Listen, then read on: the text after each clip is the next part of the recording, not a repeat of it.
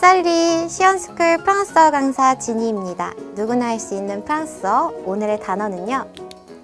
바로 미장센입니다. 자, 우리 샴푸 브랜드 중에 미장센이라는 브랜드 잘 알고 계시죠? 자, 그런데 이 단어를 보시면서 아, 대체 이게 무슨 뜻일까라고 궁금하셨던 분들 많으실 것 같아요. 오늘 알려드릴게요. 자, 원래 이 미장센이라고 하는 거는 프랑스어로 뭐 무대 장치라는 뜻을 가지고 있습니다. 정확한 발음은요. 미정센, 미정센, 미정센.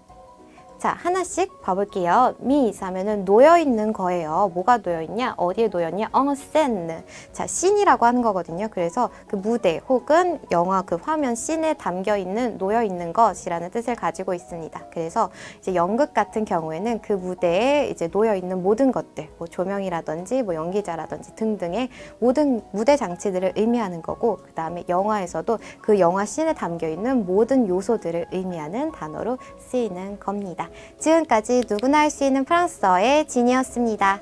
차오!